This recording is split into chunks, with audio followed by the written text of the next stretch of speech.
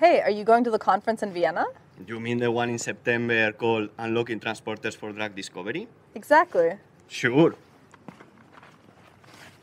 All transporters are coming. See you all in Vienna.